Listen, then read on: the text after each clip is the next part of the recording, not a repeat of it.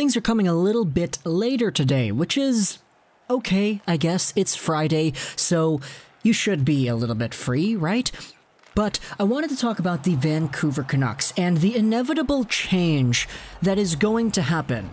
Because this video is titled Something's Gotta Give, or something to that extent. I'm not really too sure what I'm gonna title this, but pretty much the title and the thumbnail all imply that the Vancouver Canucks are going to be a little bit different just down the line.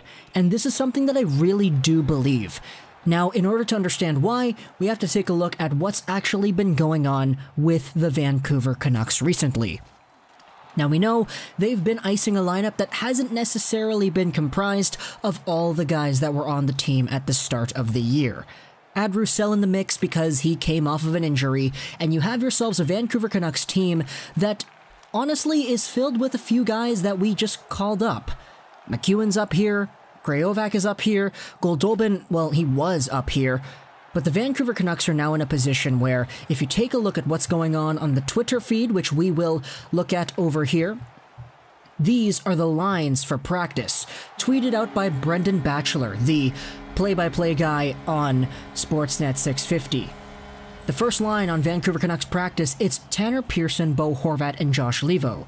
The second line, it's JT Miller, Elias Pettersson, and Brock Boeser. That's a pretty normal top six for what we have right now on the Vancouver Canucks. But take a look at where things diverge a little bit towards the next few lines over here. The Vancouver Canucks' third line in practice was Roussel with Gaudette, and then it's split off on the right wing between Brandon Sutter and Jake Virtanen. So right away, you're swapping out Sutter and Virtanen for these drills with Roussel and Gaudette on the same line. Then, for your fourth line, you have Tim Schaller on a line with Jay Beagle and Michael Ferland slash Zach MacEwen. So, what you have there on the fourth line is Schaller and Beagle doing their thing, but their other winger is rotating between the Ferland MacEwen rotation there, and you have Loui Eriksson down there as the 15th forward, pretty much. So, what you have right here for the Vancouver Canucks in their practice is a whole bunch of guys coming right back to play. Ferland is in the practice, Beagle is in the practice, Sutter is in the practice. And on top of Antoine Roussel being here and Zach MacEwen still being here, it's kinda packed, isn't it? Let's go over to the Vancouver Canucks Instagram page and check out the image they posted four hours ago.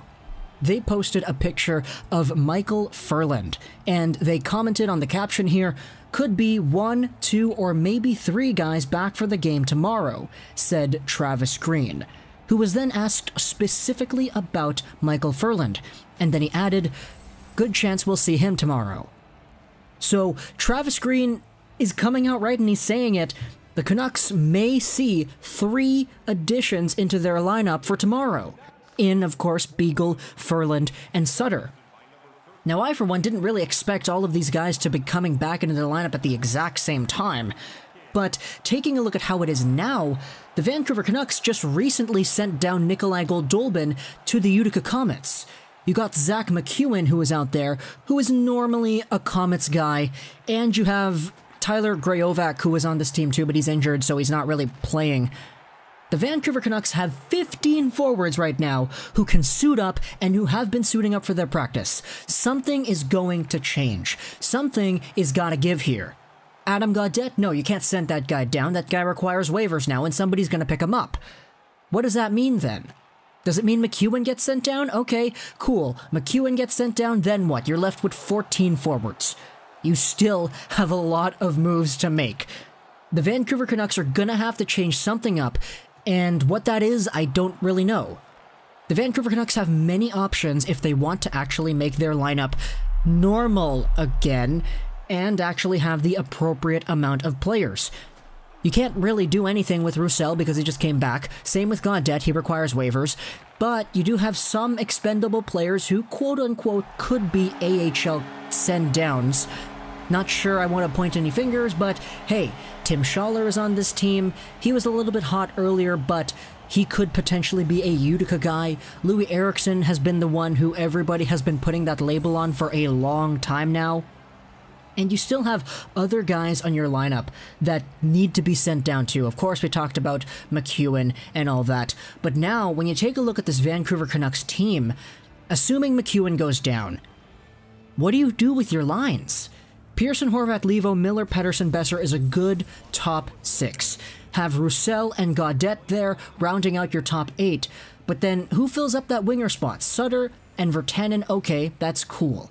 You have Sutter and or Virtanen. The other one maybe goes onto the fourth line, and then at that point you have Ferland and Beagle, so I think Schaller is probably the odd man out, and you're gonna have to have Loui Eriksson around here too.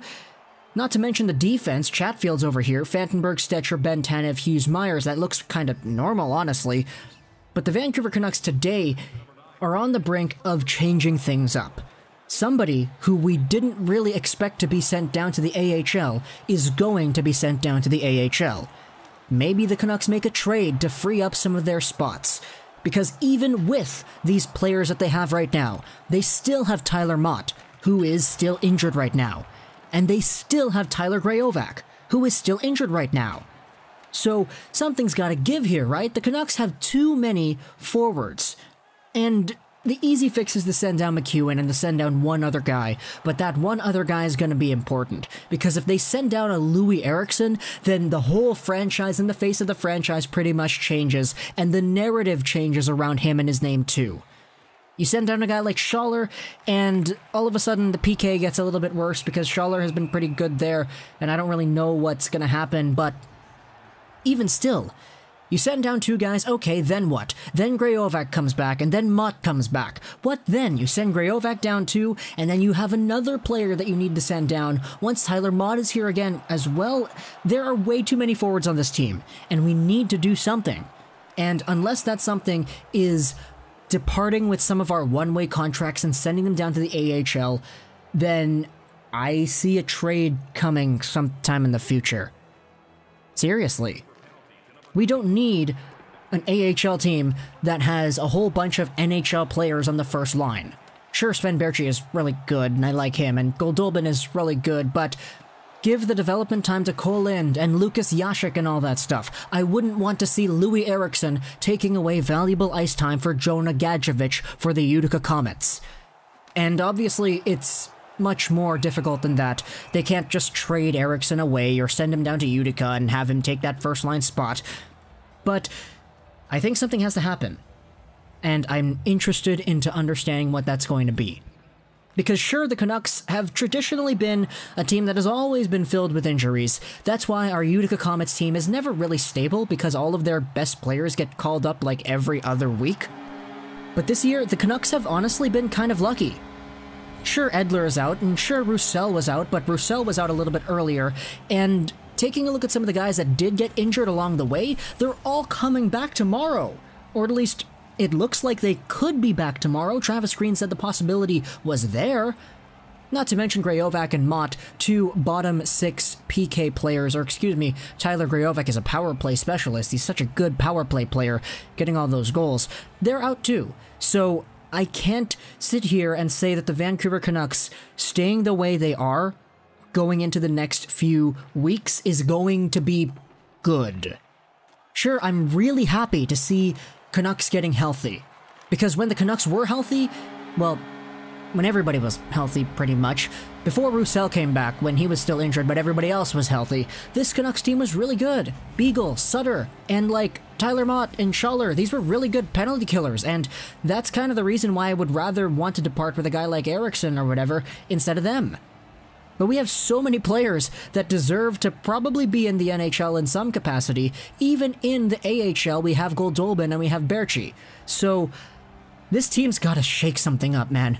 And I don't really know what else to say about that. So comment down below what you think.